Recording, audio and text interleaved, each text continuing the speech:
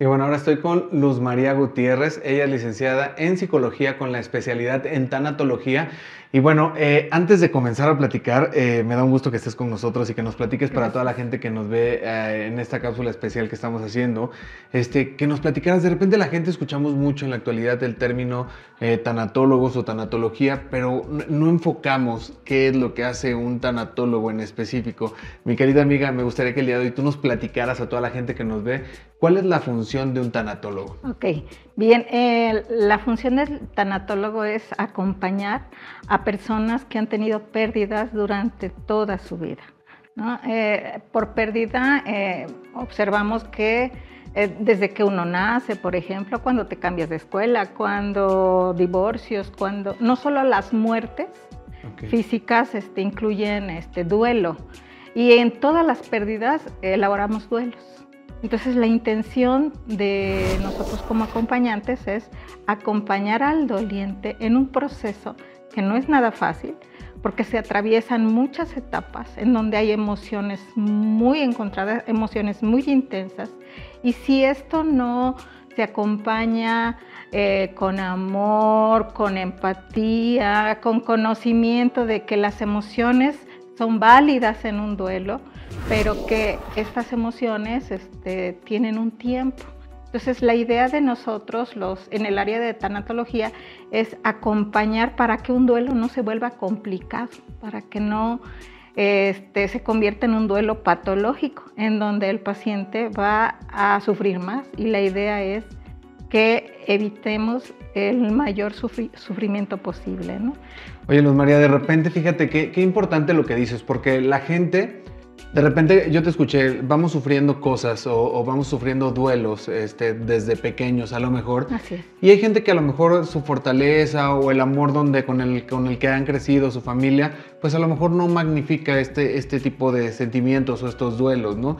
Y hay gente que a lo mejor a diferencia, pues a lo mejor el cambiarse de una ciudad, eh, el sufrir algún divorcio, este, el hasta cambiarse de casa, eh, eh, lo han eh, hecho algo, algo grande en su vida o ha sucedido de tal manera que esa emoción o ese sentimiento se les ha eh, transformado en, algo, algo distinto a lo que nosotros podemos haber sentido y de repente no comprendemos, ¿no? O sea, ¿por qué a lo mejor exagera si lo único que hizo fue cambiarse de ciudad, ¿no? O si lo único que hizo se separó del marido o, este, o se dejó de hablar con la familia, ¿no? Sí, claro. Pero es importante, dice, sanar cada uno de estos duelos, ¿no? Claro, sobre todo porque, eh, como mencionaba, hay emociones que este, si, no, si no son entendidas, por ejemplo, en, una etapa del duelo es el enojo. Entonces eh, puedes estarte peleando con todo mundo en el trabajo, incluso perder el trabajo porque tú estás enojado. Y, este, y pues tú lo canalizas eh, de mal manera y lo importante es reconocer cuáles son las emociones. Y sobre todo hay una bien importante que es la de tristeza, que si no se atiende se convierte en depresión.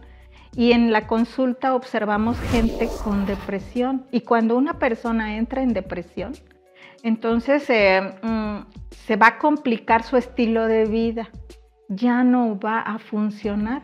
Muchos pacientes llegan y dicen, es que ya tengo uno, dos años, tres años, incluso pacientes que dicen eh, desapareció y jamás volví a ver a mi ser querido y pues vengo con un estado de ansiedad, no duermo en las noches, ya bajé de peso, me estoy enfermando. Entonces, estos son como que los avisos que nos está diciendo necesitamos apoyo y atenderse de manera adecuada porque pues nosotros los tanatólogos nos hacemos acompañar de eh, otros especialistas dependiendo del padecimiento que en ese momento al paciente le esté causando conflicto y que no está viviendo de manera adecuada, ¿no? que, que está sufriendo en la vida, pues la está pasando mal.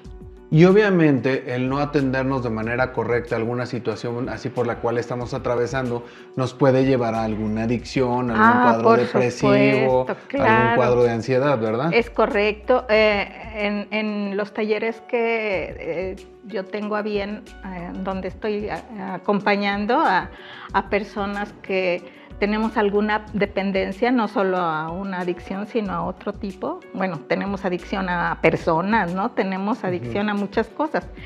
Y entonces lo que yo les comento es que necesitamos entender que mi estado de ansiedad y de depresión me llevó a un consumo con el cual yo no quería estar mal, ¿no?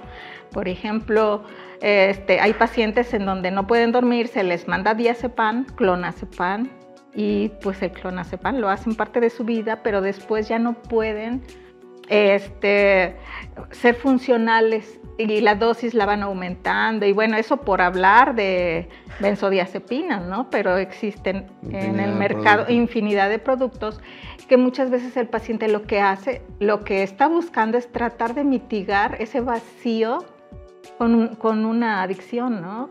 Este, con una dependencia. Y, y esta es la parte interesante que trabajamos con, con, personas que tienen algún tipo de adicción y entonces les mostramos cómo el hecho de haber este, o de estar en el estado en el que estoy, a mí me da esperanza de poder mejorar mi vida, de poder ser una mejor persona, ¿no? de poder trascender, porque les explico a los dolientes, llámense con una adicción o sin adicción, este, pues que muchas veces eh, nosotros no entendemos cuál es el propósito de mi vida, ¿no? Perdí el rumbo, si me hice este, dependiente a alguna sustancia, perdí el rumbo ahí.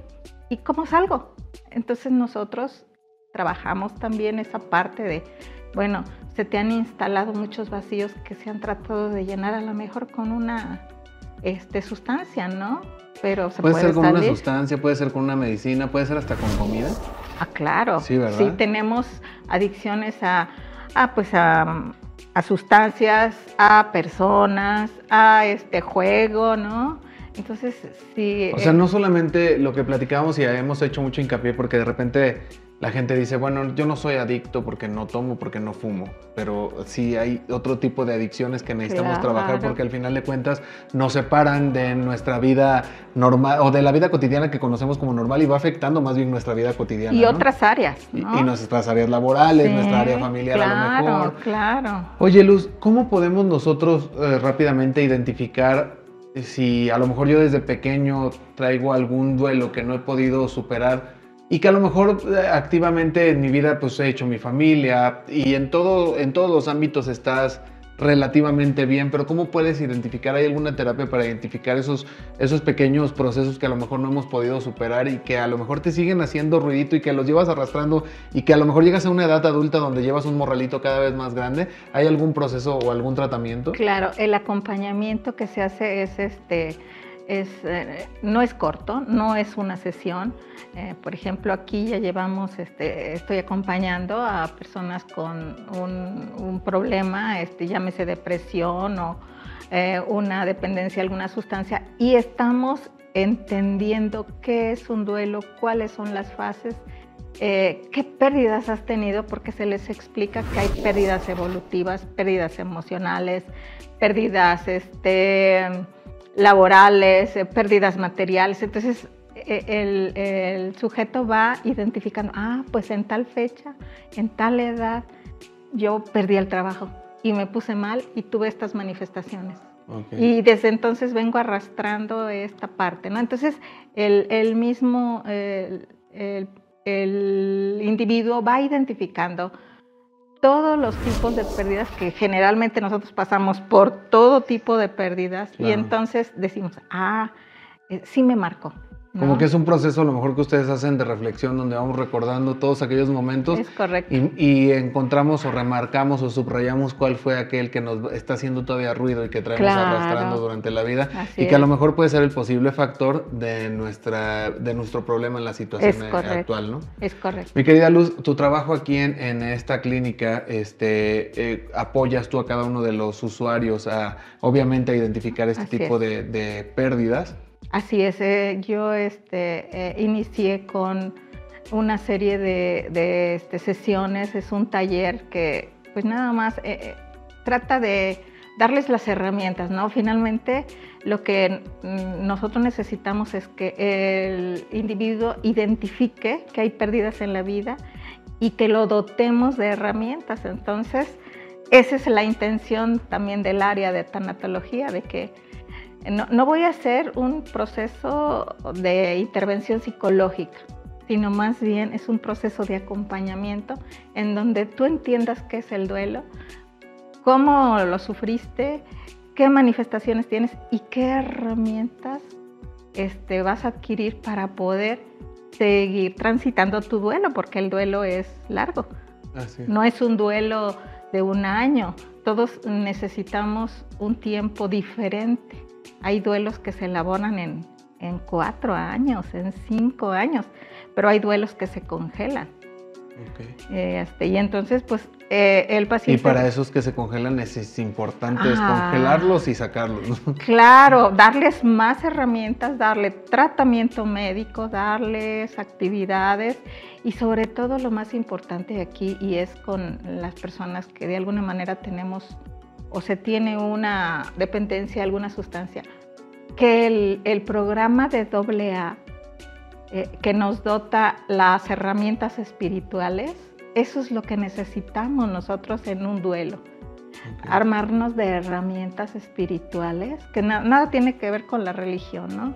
sino más bien con esa parte del sentido de vida, el qué hago en esta vida, por qué estoy así, eh, por qué las cosas no han salido como yo he querido, pero ¿cómo le voy a hacer para poder encontrar mi sentido de vida y tener calidad de vida. Y el lema de Elizabeth Kubler-Ross decía, que es la, pionera de la tanatología, ella decía, hay que vivir bien para morir mejor, porque la muerte es algo que nosotros tenemos garantizado. Pero ¿cómo estamos viviendo antes de, de dar ese paso final? Pues entonces las herramientas son para que vivas bien.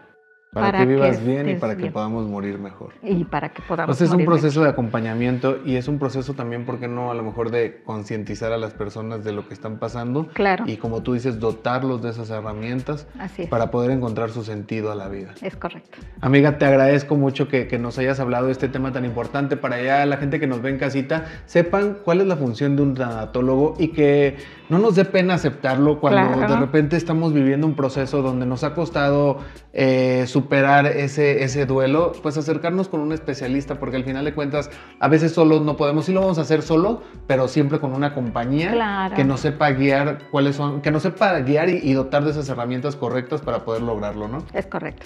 Te agradezco mucho que nos hayas regalado un poquito de tu tiempo. Te dejo en tu terapia, amiga. Mil, mil gracias. Gracias.